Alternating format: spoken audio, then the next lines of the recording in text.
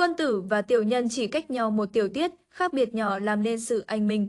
Ghen ăn tức ở là thứ vô cùng đáng sợ trên cuộc đời này. Cổ nhân có câu, không phải ai cũng có thể kết làm bạn bè. Cổ nhân kết giao, phân biệt quân tử và tiểu nhân. Trong đối nhân xử thế, quân tử luôn mở rộng tấm lòng, bao dung với tất cả mọi người còn kẻ tiểu nhân lại so đo. Tính toán từng tiểu tiết, ôm bụng trả thù.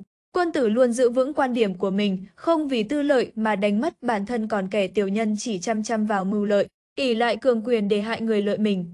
Khổng tử nói, người quân tử yêu cầu bản thân, kẻ tiểu nhân yêu cầu người khác. Kẻ tiểu nhân luôn giả là, đeo mặt nạ, miệng nam mồ bụng một bổ dao găm, thậm chí không từ bỏ thủ đoạn để trà đạp lên người khác để tranh giành thứ không thuộc về mình. Những kẻ này thực sự nguy hiểm vì cái tốt của chúng đều có điều kiện. Trong khi đó, quân tử không xu nịnh quyền thế, không vì lợi ích của ai mà tranh quyền đoạt chức. Họ luôn có chính kiến của riêng mình, luôn hỗ trợ người khác khi gặp khó khăn. Trong thâm tâm họ luôn biết, càng tư lợi, càng hại thân, càng tranh đoạt, càng hại mình. Những phẩm chất như vậy làm càng làm nổi bật phẩm cách của người quân tử. Người quân tử lấy câu ngẩng đầu không thẹn với trời, cúi đầu không ngượng với đất làm tôn chỉ cho cuộc sống của mình.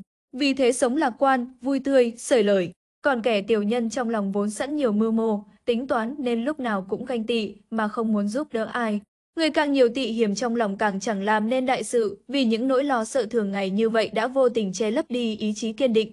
Sống một cuộc sống như vậy, đường đi của kẻ tiểu nhân ngày càng rớt xuống trong khi đó tính cách lạc quan của quân tử giúp cho cuộc sống ngày càng hướng lên, hướng xa, hướng về phía trước, tức là hướng thiện, không ngừng hướng về đạo nghĩa, hướng về phía dưới, tức là không biết sửa sai, không biết tu thân dưỡng tính.